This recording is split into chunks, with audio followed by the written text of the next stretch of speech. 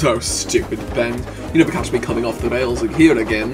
The trucks wouldn't dare give me trouble. Not give you trouble, or we'll give you trouble, and we'll make it double.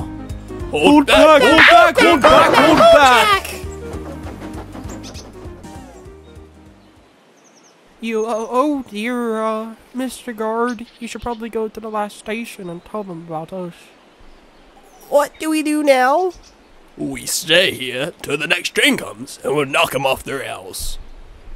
Wouldn't do that if I were you. How did you get there?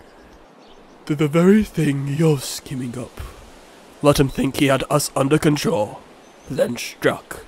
Poor bloke's brake box caught fire, and we took care of the rest. Lovely crash it was! Then the cranes came. They took away our friends, who were still on the rails, then rescued James.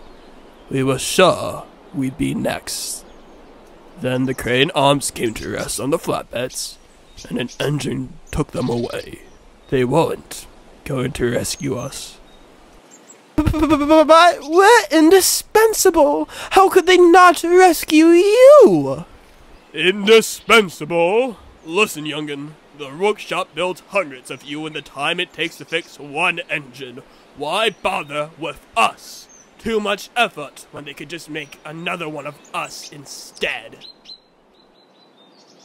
So, if we crash, we'll be.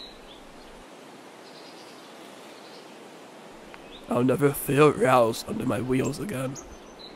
If I even got wheels left. Been buried in earth so long, who knows if they're still there. Time probably took them away. Stupid trucks. Big glasses, I swear to fuck. You stupid things! You could have caused an accident! We're, we're Well, sorry, sorry, James. James.